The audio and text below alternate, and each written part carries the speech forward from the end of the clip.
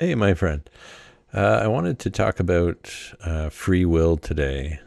Um, this came up in conversation with someone uh, a few days ago, and uh, when this particular person brought it up, I noticed there was an air of importance placed around it, uh, and it reminded me of um, my mother talking about free will when I was a child. My mother is a very uh, hardcore Catholic woman, uh, God fearing woman, and uh, and when I was a child, uh, she would sometimes bring up uh, this fact that we have been given free will by God and that it is a precious gift that you should not screw up, you know. Uh, otherwise, you know, you're going to hell. You're going to burn in hell. Because, uh, you know, if you make the wrong decisions, uh, well, tough, tough shit, you know. Uh, and uh, and that always sat a little strangely with me so I wanted to talk to you more about this idea of free will and how essentially it's one giant ego trip. Um, because it implies that you need to behave in such a way that pleases some external entity or society or whatever. And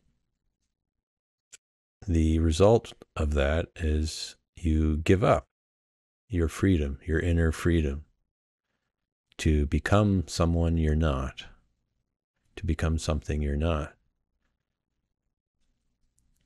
uh, out of fear. So it's a mechanism of control. You know, that's why these, a lot of religious institutions love you know, talking about this idea of free will. It's kind of like, you know, how we tell kids, you know, you better be nice so that you're not on Santa's naughty list. Uh, you have a chance to behave the right way before Christmas. You know, it's a mechanism of control and a mechanism of keeping you in prison because you're always looking over your shoulder. Am I doing the right thing? Am I going in the right direction? Is it okay to just relax at this point? Should I be doing something differently? You're always questioning being alive. You're questioning being. And, you know, if you think about it, life would be pretty shitty if you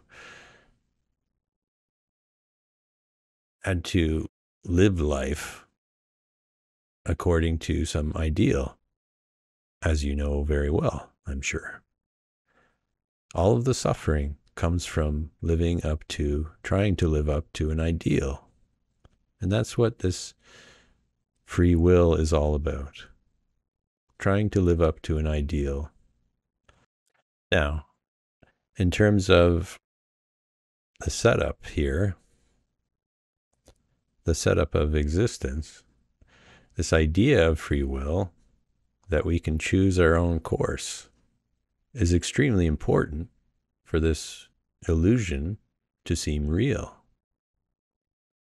So that we can experience, have a very vivid experience of suffering, of what suffering is. Because only if you believe that you can choose right or choose wrong can you experience suffering. You experience suffering even when you're when you think you're choosing right because you have to maintain it and you could lose that at some point that good habit you could screw it up at some point so either way it's very important this idea of free will to give us human beings a very visceral experience of suffering. So it's not an accident, you know, we don't have a choice but to believe in free will.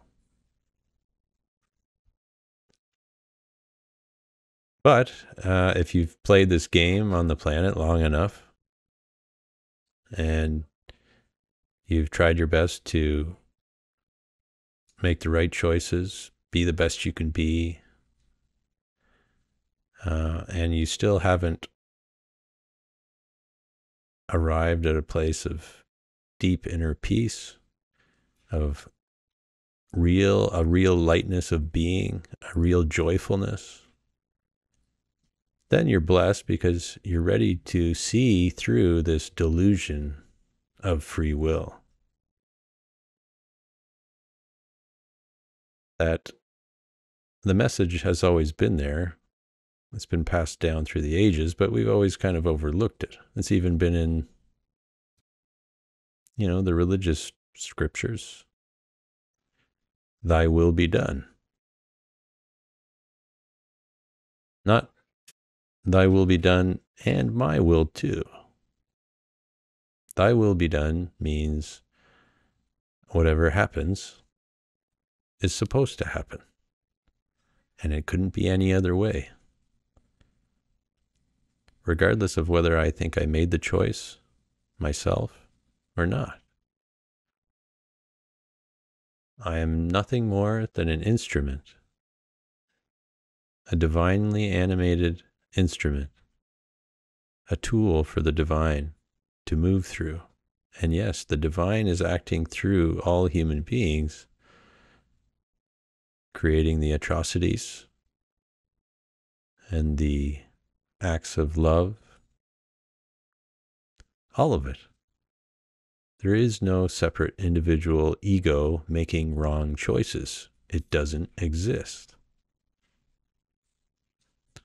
But for the ego,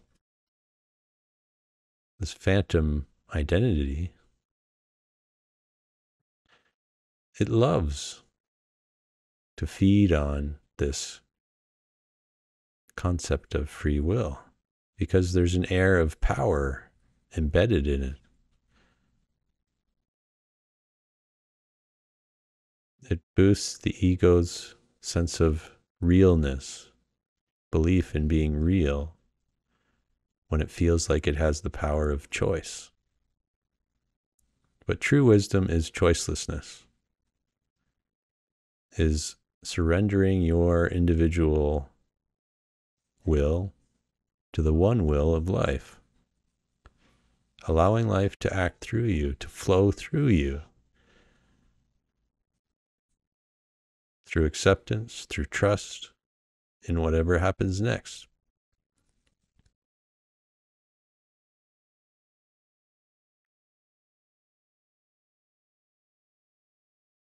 You also just can't relax. You notice that? If you have free will, holy shit, you know? How can you enjoy being alive if there's a rule book. You can't. It's necessary for, you could say, younger souls or middle aged souls, you know, that are still kind of susceptible to bumping into things and hurting themselves. If you're a parent, you know what I'm talking about. Rules are important when you're at a certain age, you know?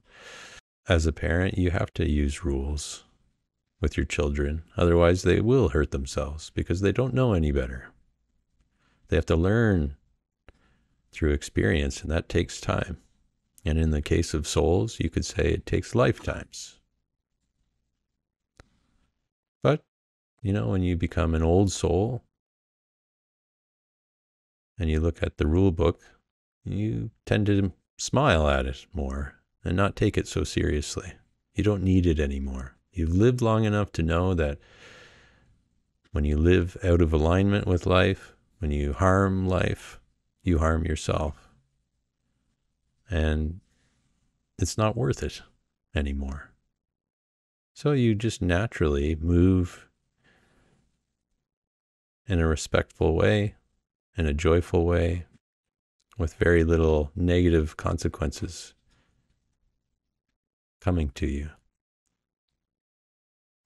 Not because you're making the right choice, but because you've realized that trying to follow the righteous path is what's created all of the problems all along.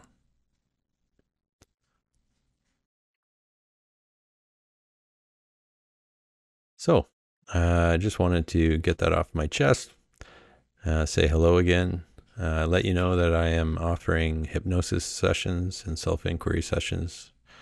So you can book yourself in through the link below in the description, uh, or you can just head to my website, kylehoobin.com, and look for the Work With Me page. I'd love to work with you. I'd love to see you. Any other questions? Feel free to message me. I'll see you next time. Bye for now.